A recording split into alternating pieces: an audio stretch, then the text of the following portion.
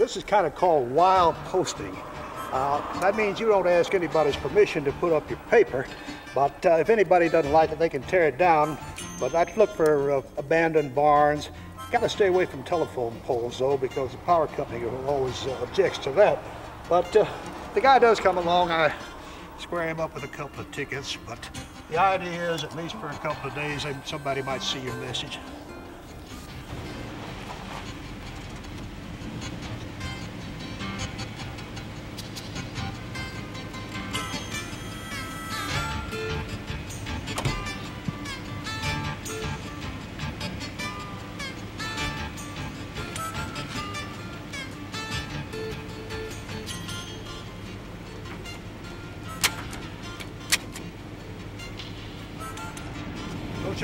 Anybody you saw me do this now. It's a hot day today, but it'll be a hot time in the gym tonight. It's going to be quite a match.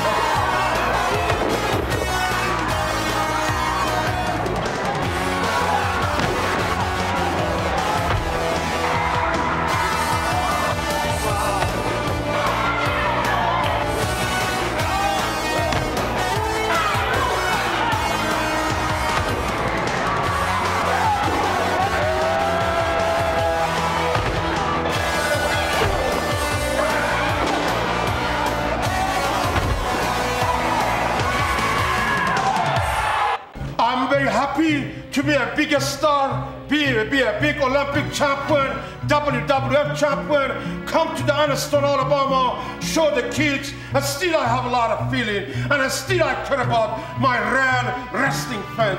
And the reason I get couple bucks for charity, but Iron Sheik doesn't need it. Oil man, Persian gold, the money is not the point. The point is, I just want to tell American kids, don't take drugs and go pray and go mosque and do practice and pray to God to you be like the world champion Iron Sheik. If I make it from 10,000 miles till I come to the USA, all-American greatest wrestling country, till I get my gold medal for pro and amateur, and I think I can teach the young generation, go practice, go pray, and dinner good, and sleep good, don't smoke, don't take the drugs, to you be champion like Iron Sheik and Allah and God and Jesus gonna help you if you want to. Ya Allah, Ya Muhammad. Anything else? Early in my career, you know, I was I started out as a wrestler just like everybody else, but you know, I, I figured out pretty soon that it did take uh, the guy that had the ring is the guy that always got the work, and he always made money regardless because everybody in the business knows that if you don't have a ring, then you don't have a show you can always get another wrestler. But about, oh God, eight or nine years ago, I had a big uh, knee injury.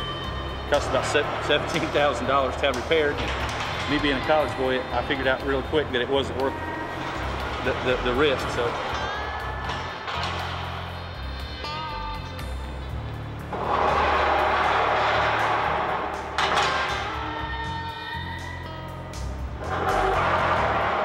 asking me if, if uh, you know, if I'm ever going to get back in the ring, and they keep saying, you know, really you should, and all this kind of stuff.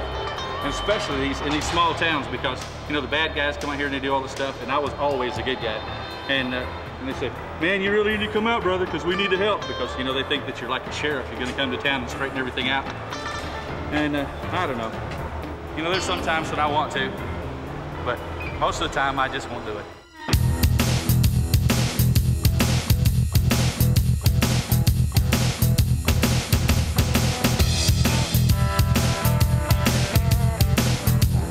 Good customer. This is my girl. She usually we usually have to kid each other for a little while about all so many hamburgers and everything, don't we? But uh, she eats with us, and uh, I think we've been good to her, and a lot of folks don't know the background of me here, so they just see the Frank that's always good to them and treats them good. And if they ever have a problem, we do that. A lot of them just, just come in and have a good time and see me and sit down and eat. Business been good. And then when I get over there on Saturday night, I think about all that and it's all over. Shut up, all you rednecks Alabama! What you gonna do, you big fat? Never seen Frank wrestle, but I remembered him being on TV. My brother used to watch wrestling all the time. He was on TV. I remember the flame, and that's what he was.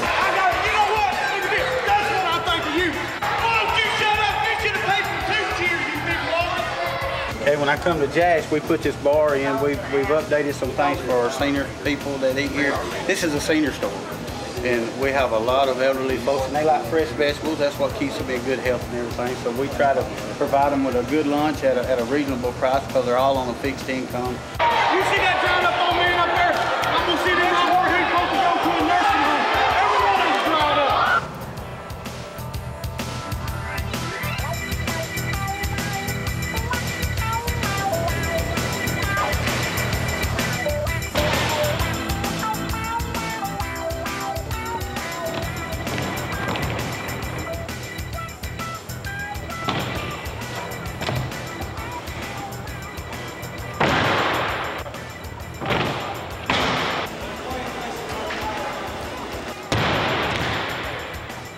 Thing's like a sailing ship. You got steel cables on the bottom, and it crisscrosses, and then you tighten them a little. Then when you put the ropes on top, they're also steel cables. And you tighten them, and you tighten the bottom, and then holds the whole thing together. Cook with a conventional oven. This is something I put in because I tell you why. I'm a homeboy and I like cooking fresh vegetables and stuff right here on our oven. And I don't need something big and fancy to cook a good home home pinto bean and cornbread. These rings are like a Timex watch. They take a licking and keep on ticking. This thing's had 20 guys in it.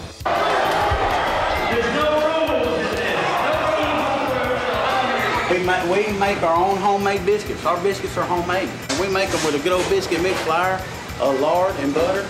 And uh, buddy, I throw an apron on. I make probably one of the best biscuits you put in your mouth. And the ladies here will just about tell you that.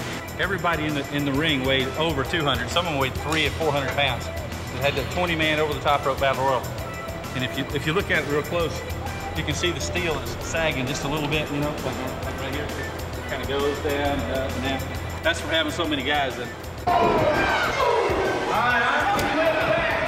Okay, if a guy were to fall out of the ring, you know, he's got to go straight to this floor. That's just a, a gym floor.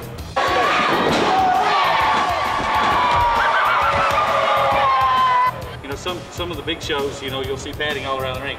These guys don't have that that benefit because the padding is way too expensive. I keep trying to get out of the wrestling business. I've been doing this for 12 years. Every time I try and get out, somebody always sucks me back in. About five years ago, I was at a bar and this guy came up and said, "Hey, uh, do you want to sell your wrestling ring?" And I thought, "Well, guys, sure, I'll sell it." But I figured he was just some some mark that came along and really didn't have any money or anything. So he said, "Well, I want your truck and your trailer and your ring. How much is that going to cost me?" So I quoted him a price that I thought would blow him out of the water. He reaches in his back pocket, pulls out a paper sack, and starts counting out hundreds on the countertop. and says, Well, how you to get home? I'll take a cab. Who cares? We got it. See how sturdy that is? This ring's not even put together totally yet, but every time you put another piece on it, it, it tightens it all up. Then you got these big guys that weigh 325 pounds, like Jack Lord or some of them guys. They really work this ring out.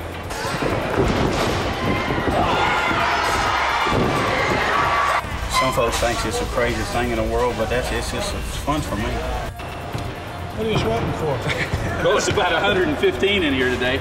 It's about 105 outside, but we- we've been carrying the steel in to build this ring, and it's damn hot. Well, I'm glad to see it up. So we ain't got too much time now. Yeah. Yeah, about another two hours. All right. Well, I'll be over at the bar having a drink. Well, think about it, will you? I began my career 20 years ago this month. Uh,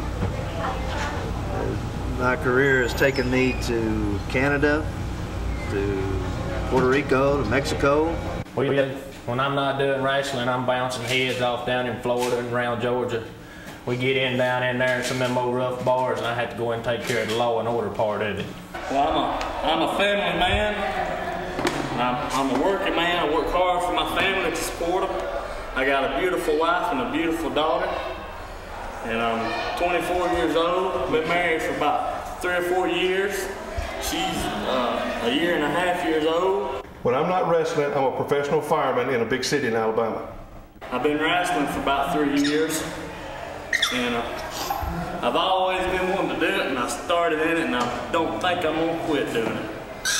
Uh, I played high school in football, graduated about five years ago. Well, it was, uh, it'll be 31 years this October I'll be in the business. And I got hooked when I was six years old in the first grade when Gorgeous George, the original Gorgeous George, came to my hometown, Marietta, Georgia. And my father put me up on his shoulders and I watched him throw gold pins and people fight over those pins. And I was hooked right then, partner. I was hooked for professional wrestling. My name is Bambi, and uh, I started wrestling professionally uh, eight years ago, uh, right after I graduated from high school. I've been a professional wrestler for 10 years. I've been all over the world. I've been all over Europe, Japan, Korea, the Caribbean, Canada, all over the United States, just everywhere. I got into professional wrestling because as a kid, my dad uh, was a big wrestling fan, and he used to take me to the wrestling matches all the time. And we'd sit front row, and, and ever since I was about four years old, I attended the matches. It was just a big deal to me. I mean, it was like the most glamorous life you'd ever see, you know, and I decided to get into it. But I'm busier now. I'm, I'm wrestling in three different areas. I'm wrestling for Smoky Mountain Wrestling up in Knoxville. I go across the state to USWA in Memphis, and I just started with Deep South down at the uh, Choctaw Indian Reservation in Philadelphia, Mississippi. So I'm making a huge triangle around the southeast, and I'm steady running, steady running. I worked out at a fitness center where a bunch of the wrestlers train, and one of them said, "Oh, you love it so much. Why don't you get into it?" So I went to a wrestling school, and uh, I trained there for uh, oh, probably about six months before I had my first professional bout, and uh, I've been wrestling ever since for eight years.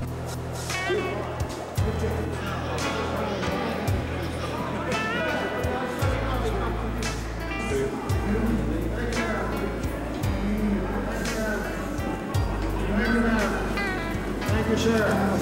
Tonight looks like it's going to be, as we say in the carnival business, a red one. That means a sellout. I like just the being there because for a lot of people growing up, they don't have that that feeling of, of being wanted and needed. And in the wrestling ring, just for that short amount of time, you're wanted and you're needed. I think it's just the people that make me want to do it. I travel all over the world. I've been to Japan uh, eight times. Uh, I've been to India recently. I've been to Europe about four different times. Uh, I've been all over the United States. Been to Malaysia, Singapore. Um, the, the travel is just, you know, unreal. I mean, you can wrestle one night. You might be in LA wrestling out in the uh, Coliseum out there, and then you might be in Chicago the next night, New York the next, Miami. I mean, it's just, it takes you all over the world. It's only 7 o'clock. We still got an hour to go before the, uh, before the match begins, and have been sold uh, about 225 tickets. And here comes another bunch right now. Six dollars.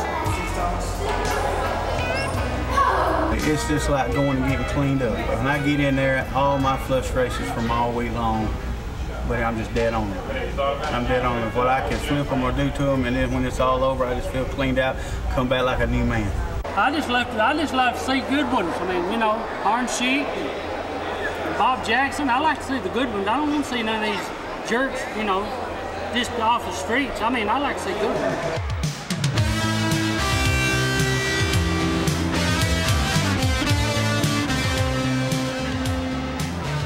I enjoy the wrestling part of it because all the frustrations I get during the week and everything bouncing heads, I get to get out there and these bad wrestlers think they're really bad and hot stuff. I can go out there and bounce them around a little bit and it's just an everyday thing for me. Most of the time I'm booked all the time on Friday and Saturday night, but I get down there and I get it, just, just get it going right there in the ring. Just take it all out on the person. Burn them up, set them on fire. I've been a fan for uh, wrestling for 25 years. I, I enjoy being in the ring and listening to the fans react to whatever I'm doing. Just beating somebody up. That's what I like about wrestling. I like getting in there and just beating my opponent.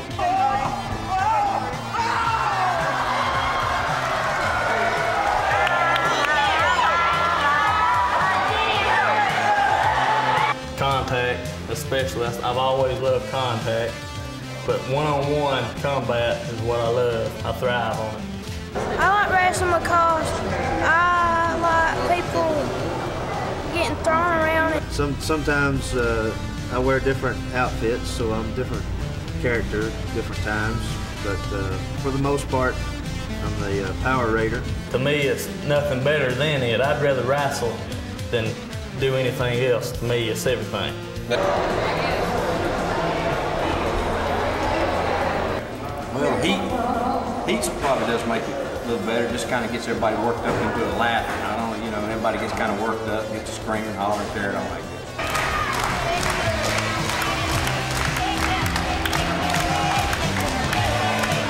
I really get a kick out of it. I wouldn't have been doing it for 20 years if I didn't. I used to come. I used to come when I was in high school, and I guess it's you know, good versus evil. I like the chess game of wrestling. I like getting in there and seeing what kind of moves my opponent might have, trying to master them moves, getting in there, trying to judge what he might do next and what I might can do to get out of it or get him before he can get me. Oh, that's what wrestling is, a chess game. That's what it's always been. And the leader of the pack at the end of the at the end of the time limit, at the end of the match, is going to be the winner. It's like you have somebody to cheer for and somebody to cheer against. Kind of like life, you know, but it puts it in a little nutshell. the competition. I like the competitive part of it. And I've always been like a, a very competitive person. I've always been a swimmer, a softball player, all kind of sports. I was raised on a farm, and a good friend of come to me and said, why don't you try professional wrestling because you're very strong. I used to pick 50 pounds of sweet feed over my shoulder, feed the cattle, and I've just always been a strong person, and like I said, a very tough competitor, and I just love it. I love the travel. I love going to the different countries, living the different cultures. I just like it all. I can just wrap it all up. I just love it. Okay, in Japan, uh, it's totally different than in the United States when you wrestle over there. Uh, you're not necessarily a good guy or a bad guy. You go out there and they applaud you when you win, when you do a spectacular move.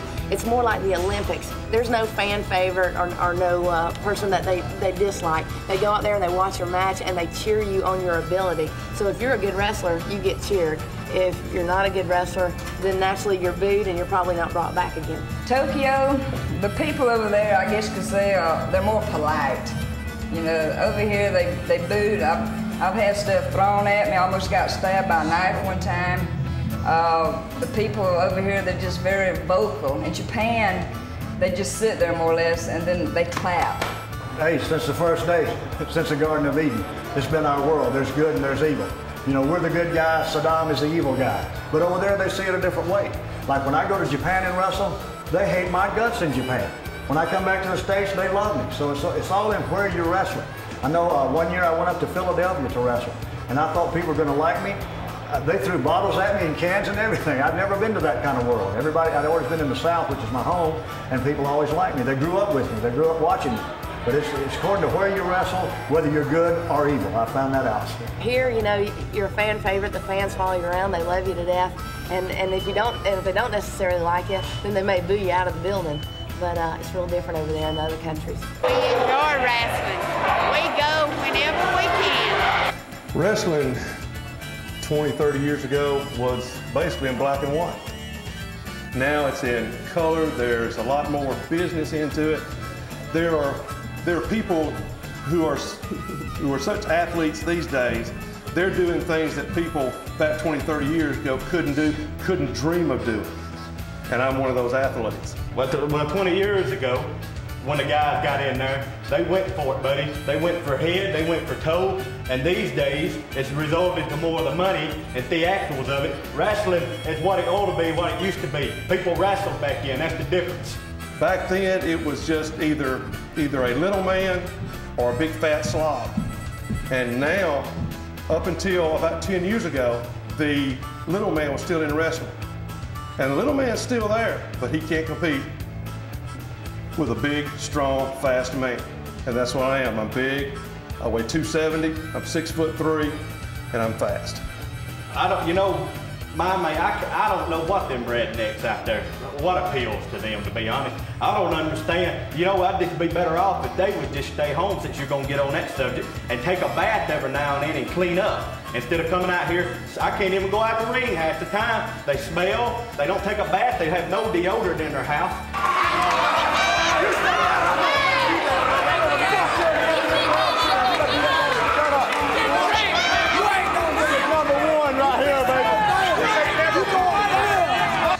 What might have been said to you or what you might have been told. Anything can happen in professional wrestling on any given night. The only thing special I'll be doing is I'll be defending this belt tonight, and that's all the people need to know. I'm not going to guarantee a win. I'm not going to guarantee a victory, but I will guarantee a lot of pain and punishment. And anything I have to do to keep this junior heavyweight championship around my waist, that's what I'm going to do. I don't care what it is. Let's get some wrestling going. What do you say? You ready?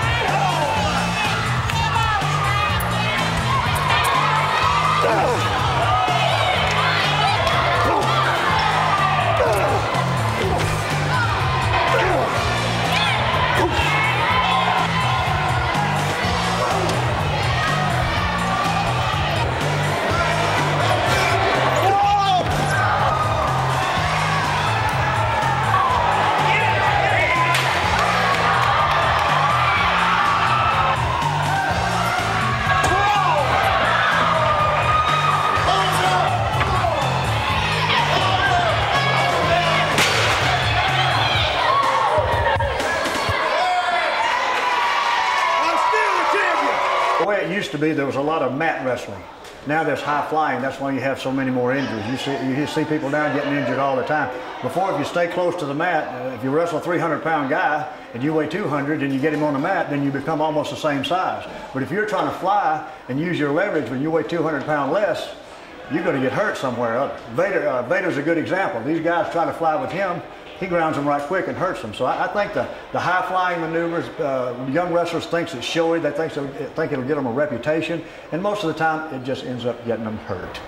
I like the superhero persona because I, I like talking to the kids. Uh, I think there's a lot of kids that need somebody to look up to these days. Uh, a lot of kids don't get much discipline at home. And when they come up and talk to me, I talk to them like I'm their father. So those old guys, uh, Lou Thesz was another one of the greatest uh, wrestlers in the world. I had the privilege of wrestling him when he was 55 years old, and I was 35. and brother, he taught me a lesson I'll never forget. So I got a lot of respect for those old timers. They know what they're doing. Never had a fan try to hurt me, but uh, recently in December I was in India, and uh, after I won the belt, um, the fans kind of run up to me to congratulate me. And over there, I didn't know their customs are different have the police with the, the you know machine guns or whatever strapped to them. And when the fans started charging me, they got worried. They thought that the fans were going to hurt me, and uh, they grabbed them and they handcuffed them and they drug them out. And I think they probably beat them up pretty bad. I don't threaten them, but they respect me, and I respect them if they respect me. And I, I think they need all kids need that these days. You don't even have to cuss at them. I have never, in all my wrestling career, cussed anybody. I've never had a fan attack me before. Um, I've seen some attack some of the other wrestlers that they didn't like so much, but I've been pretty fortunate that the, I'm just, uh, they come up, they hug you, they shake your hand, they want to show you that they, they appreciate you. I tell them that all their, their whole family's on SSI, that's all they got going for them. They check into a nursing home because they're used up, dried up. Buddy, by the time I'm through with that, they're coming out of their clothes. Man, and when I was young, I whooped people like you.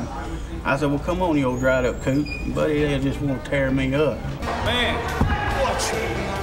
This is him up just around the head. And I took him in the ring. Whatever anybody do, I did double. If I cannot, we give him $100 cash tonight. Look at me. Ya Allah. Ya Muhammad. Ya Ali.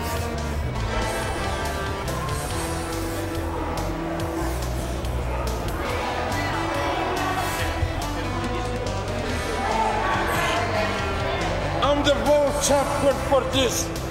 Nobody break my record. That's a good exercise for the shoulder and the back and neck all over. That's because I'm a champion.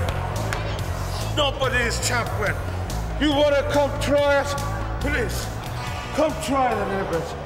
I, didn't, I, didn't come, I didn't come this far. Yeah, just feel it. Just feel it. Pick him up. Just like on a sick. We'll see how much you can do. Okay, what do you want me to do? Pick him up, hold it, and twist it. One. That's all? That's it, buddy. That's it. Let's see what is. Let's see how they're enough guts till you come try it. I respect you. This you try it. Very good. God bless you, America. The Flame is a bad guy in wrestling, and I consider him that. Uh, the worst situation I've been in is we were in Aniana one night and I had on this little red dress like this and it cut down real, real low. And um, a real big, heavy set girl come out there and she grabbed me by the back of my dress and yanked me about three rows back. What makes a good villain? The customer or the audience makes a good villain? Common occurrence like what happened out there tonight. It, it, goes on all the time.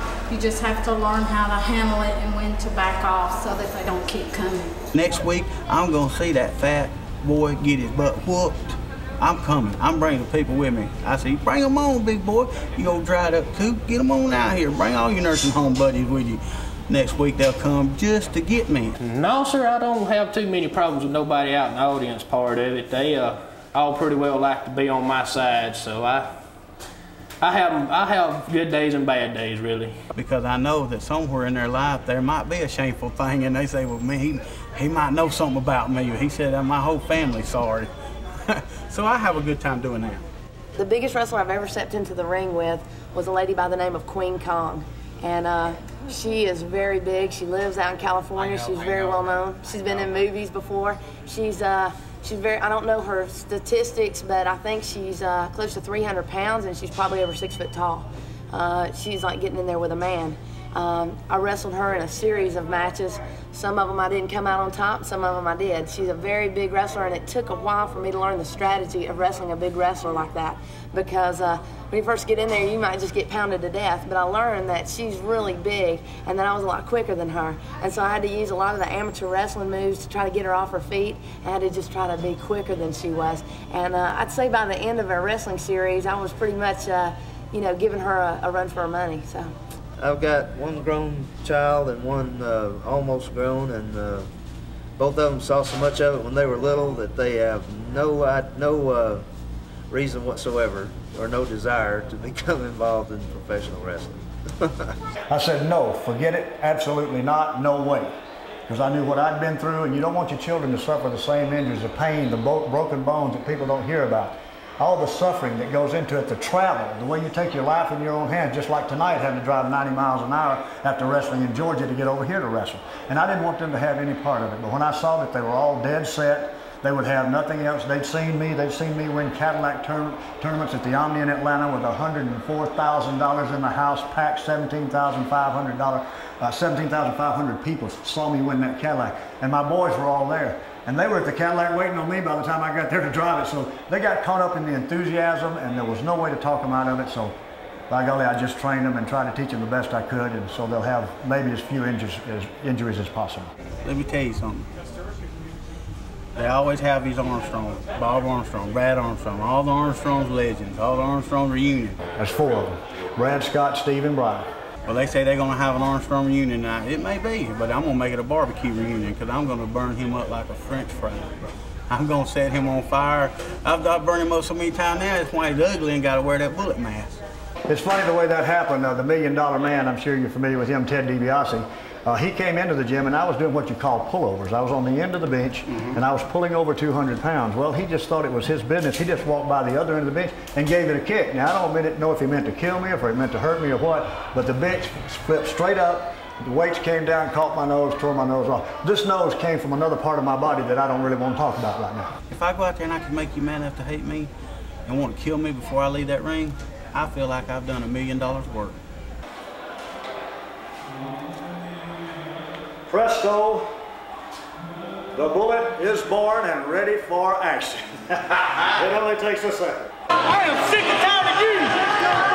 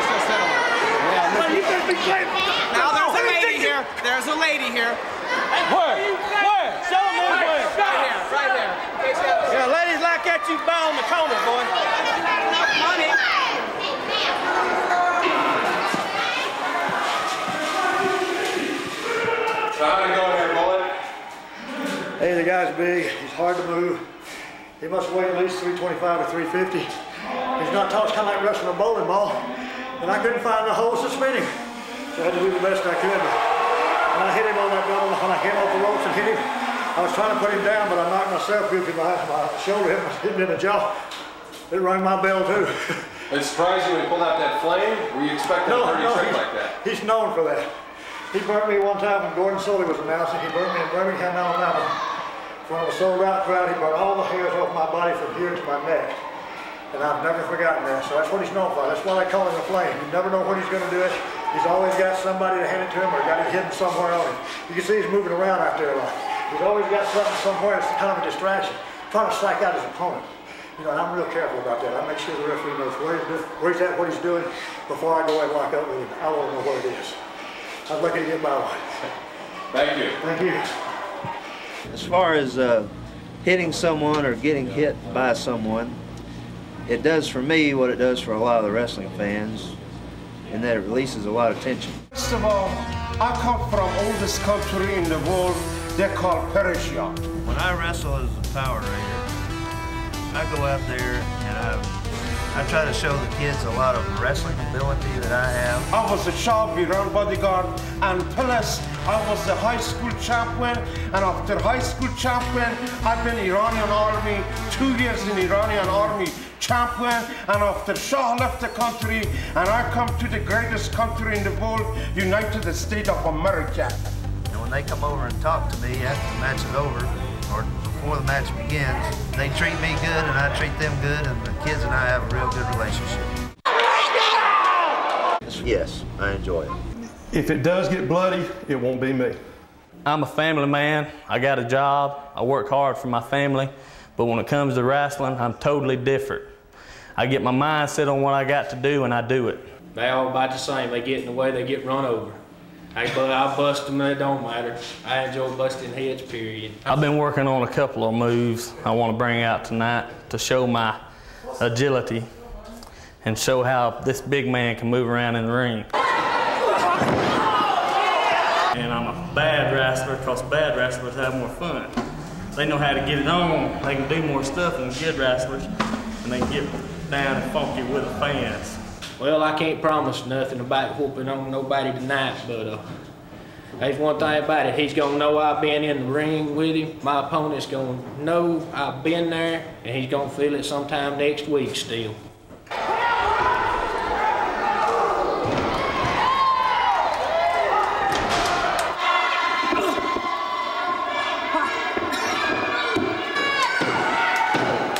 As he said, he's quick, he's strong, and he's fast. I've seen him hurt his opponents. I tell you, when I first got into it, I didn't win a lot of matches because you, you learn a lot. You know, naturally you're not a uh, you're not great at anything once you get into it. But I have went on, and I've had the had the belt for about two years now. I started wearing a mask in 1981, and it was just like uh, it's been very good for my career. Uh, I, I don't know if it gave me more confidence in the ring or what, but I've been much more successful with it. It's just something I know. It's a, it's a gift I guess God gave me to be good to folks, but yet at the same time I can make them hate me. It, but I, I don't think I could do it without the mask. I really don't think I could do it without the flame mask because that gives me a shield to be the person I am. Yes, wearing a hood does hide some of the injuries that I might get wrestling. I it just I feel more comfortable with it now, and if I ever wrestle without it, I, I really feel lost up in there. When I go to work and I'm limping, I fell off a ladder at home doing the windows. I feel like a different person when I have a mask on. Uh, if I'm in there without it, I, I, I just feel the people a little different when uh, when I do have it, when I don't have it, and I can I can let loose a little more when I when I have a mask on. I love the fact that people don't have any idea who I am because I can go anywhere in this country and do anything I want to, and I don't have to worry about people, you know, coming up to. Sometimes I wish they would know, but other times I just can sit back and say, well, I know who I am. It's very possible to wrestle more than one event per day or per night in the uh, Georgia, Alabama area here uh, because there are many, many, many small promoters in this area and they all want to have their events on Friday night or Saturday night, it seems like. Yes, I have wrestled with and without the mask on the same night in the same time. And if a fella has, uh, has got his schedule worked out properly, uh, it wouldn't be real major for him to work three shows per day. Has anybody noticed, not to my knowledge? Of course, you got a difference of an hour when you go from Georgia to Alabama. And uh, if you could schedule like first match in one town, main event another town, you you got a pretty good payday. My grandmother got me watching wrestling. I've been watching wrestling since I was a little kid.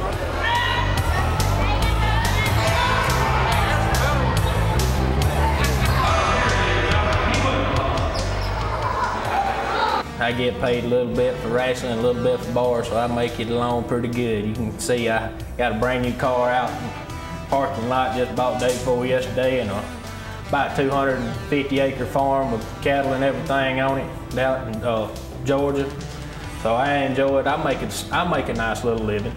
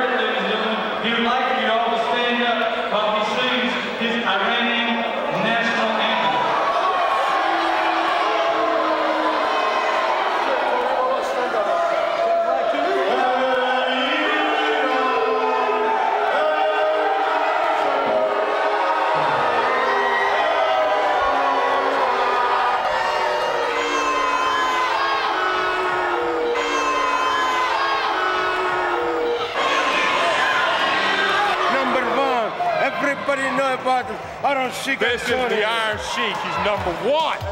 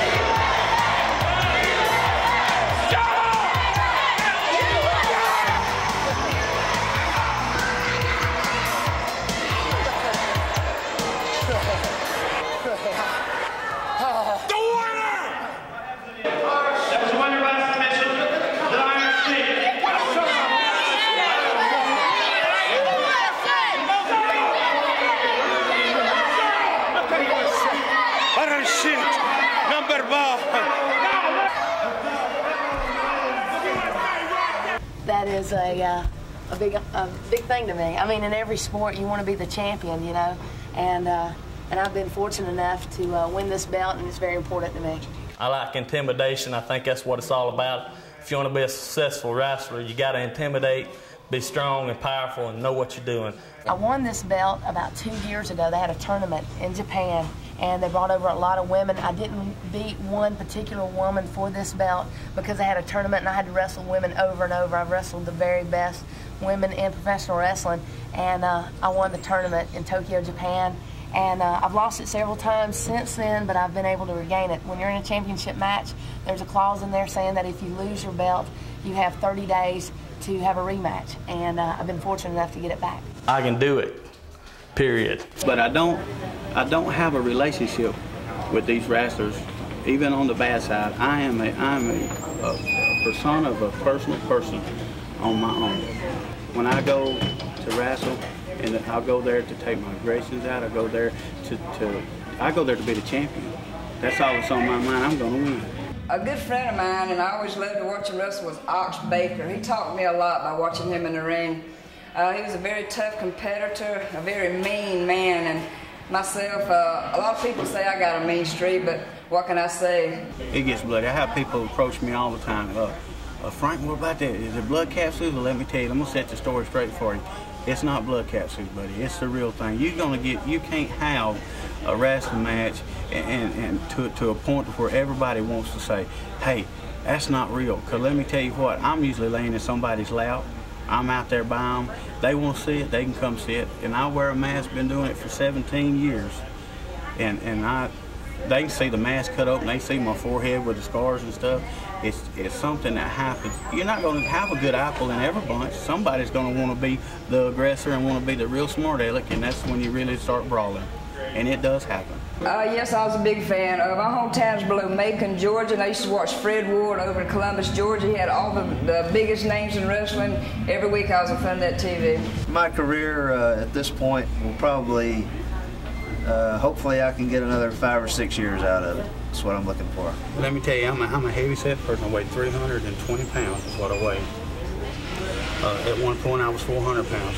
What keeps me in my condition is working here at the restaurant, taking care of the customers. I'm always on the back. I'm the only manager that I'm a general manager of this business. I work as hard as them people, and I do what they do. Let them know that I can stand beside them, and that's what I like. But to stay in condition, brother, 10 or 15 minutes in the ring is like two or three hours of workout. It, it's a mental and a physical conditioning at all times. At all times. I work out six days a week, two to three hours a day. Well, I, I do a lot of walking, a lot of running. Um, of course, I ride my Harley Davidson every chance I get, which is not often because I'm always on the road, always. When I first started wrestling 10 years ago, I was 196 pounds of just baby fat. And as you can see now, I'm not 196 and there ain't no baby fat here. This is all I do. I stay on the road about probably 250 days out of the year. Wrestling is still the only good and bad guy. You've got your forces of right and your forces of wrongs. And wrestling's the only place you find that. I mean, if there's a right and there's a wrong, there's a yes and a no. There is no gray. It's black and it's white. And people come to wrestling because they understand wrestling. They know good and they know evil.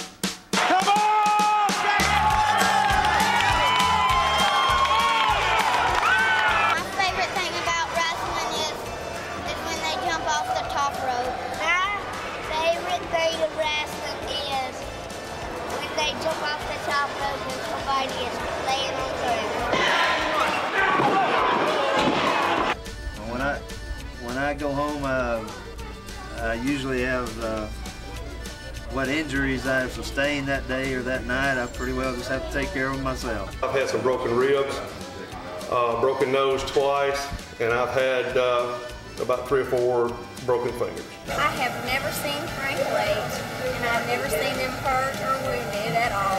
Um, I, I would think he would wound somebody if, if anything. I have a flip liver. As, as of a, a honest to truth thing right now, I have a flip liver on counter wrestling uh, in my career. And you say, well, how can you? How's your health if your liver's flipped? Well, I've had a Birmingham uh, here in Alabama. Uh, you know, several doctors has diagnosed me having a split liver, and I just haven't took the time. I want to take the time to get it put back right because then I feel like I might go down here. And right now, I'm feeling the better than I've ever felt in my life. Uh, the reason I wear this mask is because in 1982, in Wheeling, West Virginia, I had 200 pounds of weights fall on my face. It took my nose completely off. It crushed every bone in my face. So $37,000 later, I came up with this. I guess I should sue them. But it was lucky I had a face at all, and my nose is now not attached to my cranium here, so I wear this mask. You'll see it's a half mask, but it braces my nose here very well. I wear it for my convenience. I'm not trying to fool anybody. Everybody knows the bullet is Bob Armstrong. In fact, they call me Bullet Bob Armstrong now. That's fine with me. They can call me anything. Just call me when it's time to pay me. I've been quite lucky as to never have had knee injuries, which so many of my uh, fellow competitors have had. They've had a lot worse injuries than I have. When I had my knee surgeries, I was out for six weeks at a time, and it happened twice. So, you know, I'm not getting any younger, so the, the chances of me of me getting back in the ring are pretty slim. Oh yes, sir. I got several scars on my head here, and one on my nose where it's been just. I've had tire tools and everything else put upside my head, and it's really it'll it'll get you attention every now and then, but it's something I enjoy doing, and ain't many of them able to do. I'll tell you in four letters. L-U-C-K, luck. I've been very lucky. I've been hurt a lot. I've had most of my bones broken in my body at least once. But you know, if you, if you, ever get that fever, you can ask most any wrestler that's been around a while. If you ever get that fever and that competitiveness, competitiveness and hear that crowd roaring, it's just it's, a contact sport. It's like football. You know, football players sometimes play till somebody just says you better quit before you get killed. And so that's what they're going to have to tell me. Uh, I used to wrestle back years ago, and I had an accident, and I don't get to anymore. So I just manage. I had uh, uh, all my teeth knocked out, and we got into a real Donnybrook in Birmingham, Alabama, with a masked fella. And before it was over, we nearly killed each other, and I broke his shoulder and his left, I think it was his left ankle. And I lost all these teeth, so I had to get this plate put in. Uh, a hard road? Well, yes. Uh, over in Japan, I've got my ankle broke a couple of times. Over in, uh, I think it was Sweden, I got my collarbone broke. Uh, my back's been messed up a couple of times. It's the, it's the toughest thing I've ever done. I, I, can tell you that. I've had several injuries in the sport. Uh, the, the most, the worst injury I'd say is I broke my arm uh, and my wrist, and that happened about four years ago. I've had ribs broken. I've had a concussion. I've had a girl hit me in the ring and just completely knock me out. They had to take me to the hospital. I had a concussion. Funny thing, my nose sometimes I get hit. If I didn't have this mask I'd end up over here. I'd have to push it back. It's not attached. So they did everything in the plastic surgery they could. They wired my jaws together. I had to wear a tracheotomy for three months. I couldn't breathe through my mouth. Was locked. But they never could get that nose to adhere back to the cranium. So this is just a piece of meat up there. They had to go up in there with sticks and make a hole so I could breathe through my nose. So I'm just I'm just lucky to be here. I'm really I really am. I, I came that close to death. Just by simple fate, I'm here. Thank God. Uh, but you know, over a period of eight years, that's not so bad, I don't guess. Well, to, for me, as far as the women, a lot of them don't take it serious. Me, I go out there, I'm 110% serious when I step in the square circle. I am very serious. Who is the best wrestler? I think people like to see women wrestle because all for years all they've ever seen is men wrestle, and it was a male dominant sport. And you might see a sideshow. It's kind of like a novelty. They'd see the midgets and they'd see the women. But I think nowadays uh, people like to see the women and get there, get in there and do just as much as the men. And they've seen it in the past. They've seen that we can do just as, just as much as the men can do. And uh, it's a treat for them. You know, it's like the American Gladiators or the roller derby. They see the women get out there and they love it. You know, because I think everybody knows that deep down when a woman gets mad, she can always put on a better fight than a man can. So uh, I think I think people like that. I just go out there and wrestle my style, which is very rough, and a lot of people don't like me, but I don't really care what they think.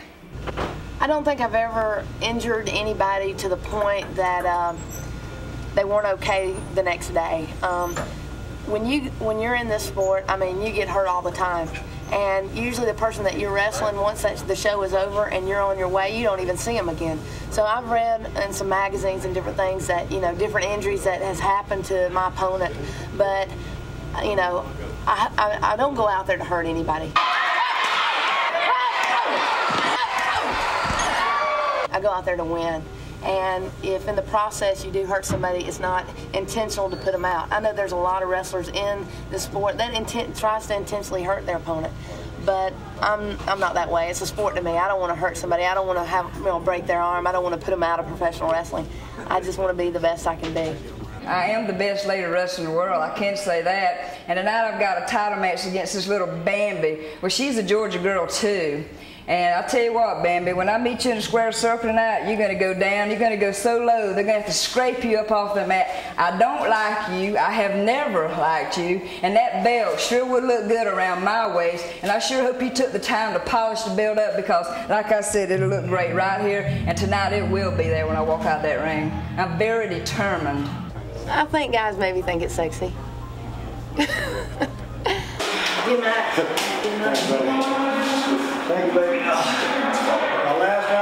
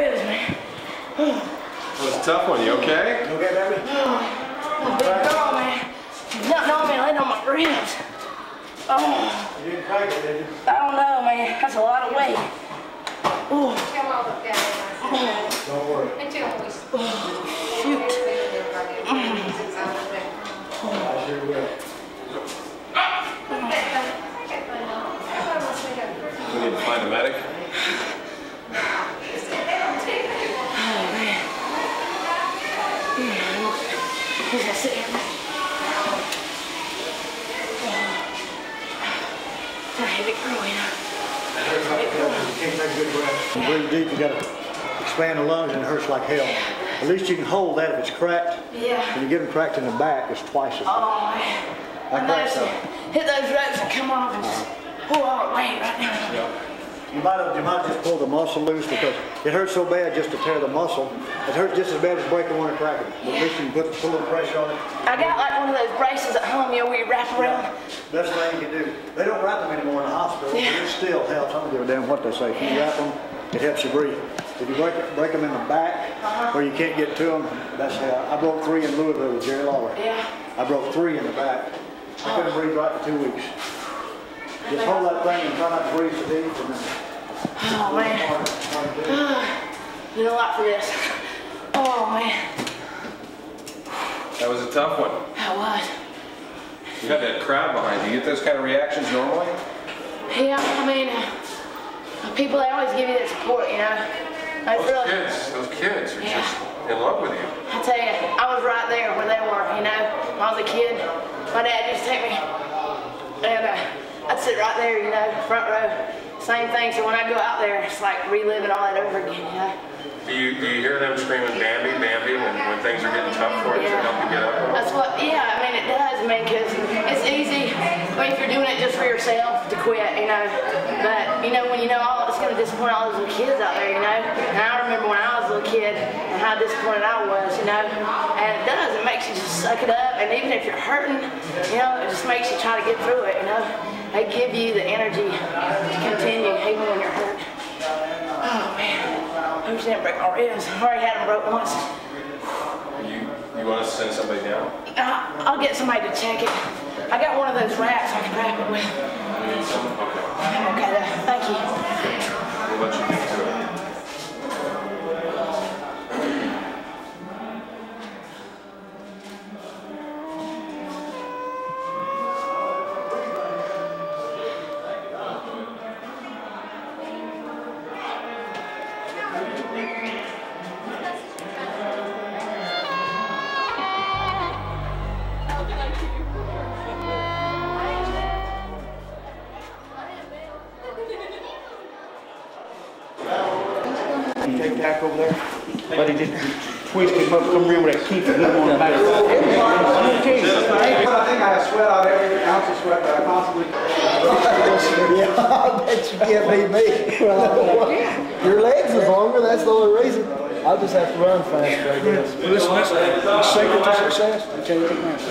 Cheat. Gotta cheat, oh yeah, cheat, exactly.